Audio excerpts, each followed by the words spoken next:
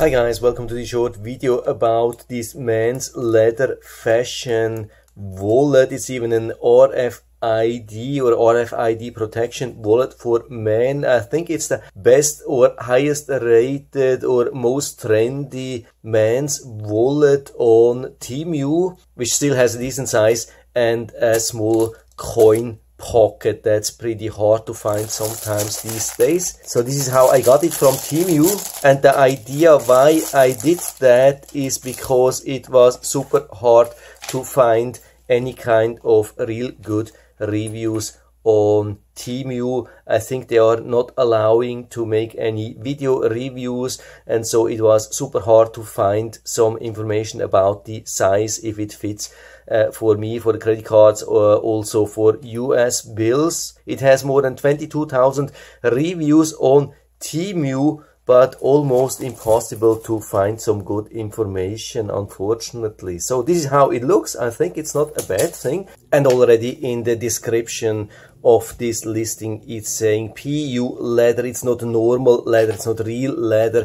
When you take this a little bit closer you can smell at it and there's absolutely no leather smell. So this is definitely not leather this is pu but this is pretty much standard what uh, most manufacturers are using when they are not using real leather. And it doesn't mean that it's not lasting very long. Of course usually leather lasts a little bit longer but PU leather is a pretty good standard thing for such uh, items i'm positive surprised the metal here, yeah, the metal here is a little bit, or could be a little bit a problem. I mean, it looks good, but I'm not sure how long this will stay in shape. I mean, I can't tell you anything. It looks good at the moment, but I don't know how long it will look like that. But I think it's not something which is really needed. And regarding the size, this is my old wallet, so I think it has a decent size. So we can open it here, open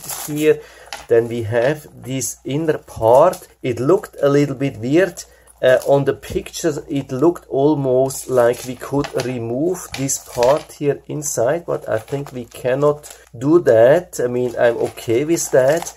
Maybe there's a, like a velcro here inside which holds it. No I think it's fully attached so I think it's good. And we really have quite some pockets with zippers so we could put some things here inside maybe a coin and then we have another pocket that's a larger pocket here. Zippers are not working really good but they are working okay i would say.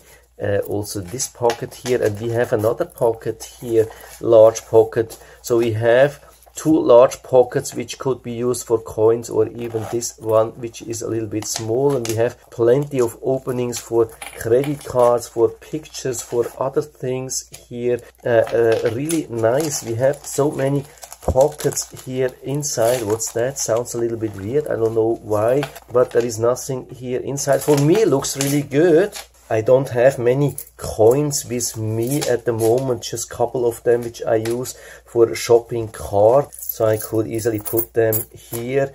Uh, yeah, works definitely good. Then how about the US dollar bills? What I like with the US dollar bills, they have exactly same size. In some other countries, the bills, they have different sizes. So let's see if we can put this here in the bag. I think works pretty good. Yeah, the size is definitely enough for the US bills. It's not super large, could be a little bit larger, but you don't have to fold them. They definitely fit here inside.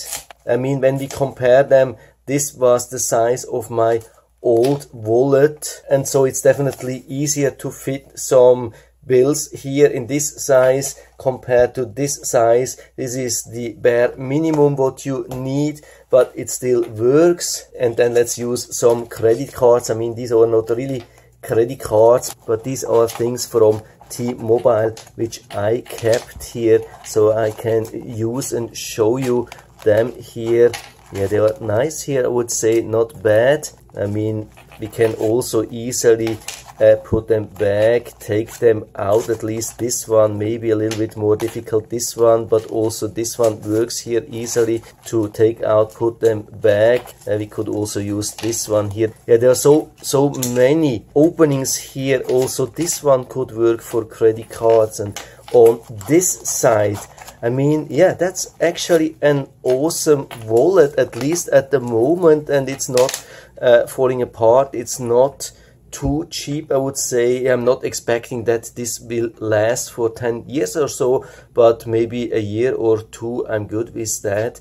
And I'm definitely going to use this one here because the other one is falling apart. And so if you're interested, I'll put down the link to the Temu listing down into the description. By the way, it's not an affiliated link. I don't have any account there or so. I just wanted to help you if you are looking for a nice purse, nice wallet with some pockets for coins and also a lot of pockets for credit cards and uh, other stuff and bills and so on because it looks like more and more purse manufacturers are only supporting uh, bills or not even that. Many are only supporting credit cards these days. That's it. But for me personally, it's still a very important thing to have still some cash with me in case anything happens maybe with the bank account or so or maybe we could have even a total collapse of the electricity for some time. We could have large hurricane or other disaster. You really never know. You cannot rely only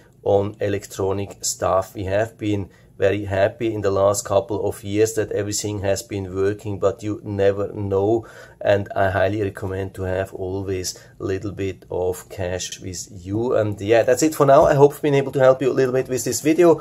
If you have any questions or comments or other opinions or maybe other solutions, other really nice wallets which support also coin, then just let us know down in the feedback area. I'm always happy to talk about these things. And if you like the video, give me a thumbs up, subscribe my channel. Thanks for watching. See you next time.